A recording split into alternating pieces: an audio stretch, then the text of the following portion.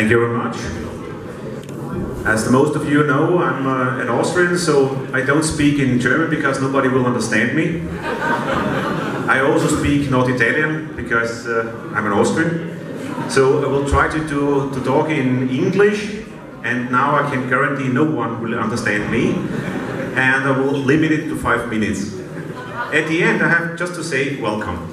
That's the simple thing. But as you know, we are a voluntary club.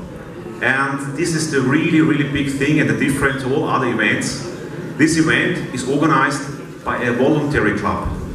It's a club like you are in. It's the Vespa Club of Celle. They had now two years very hard work to get uh, good weather, as we saw, a good organization, and hopefully we will have a lot of, uh, of fun.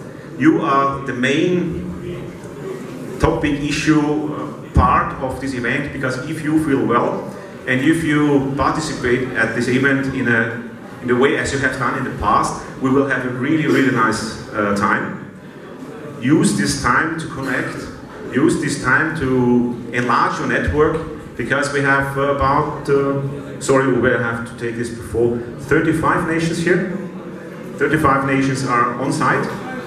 Uh, three and a half thousand people paid that means uh, we're really a large community, so we have the world's largest voluntary organization on event without any company involved, without any agency involved. It's really done from people in their free time. And that's worth of the Vespa World Club. We work one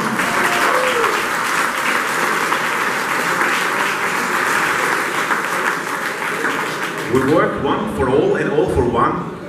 And it sounds sometimes silly, but it is, and I like it very much. That's the point where we can say, if we go to Indonesia, or if we go to Alaska, or if we go to Germany, doesn't matter. You have alwhere a friend, and you can contact them, and you can go for a beer, a glass of wine, or a coffee. So enjoy this, use this network, and have a lot of fun. And be careful, no accidents, please. Have fun.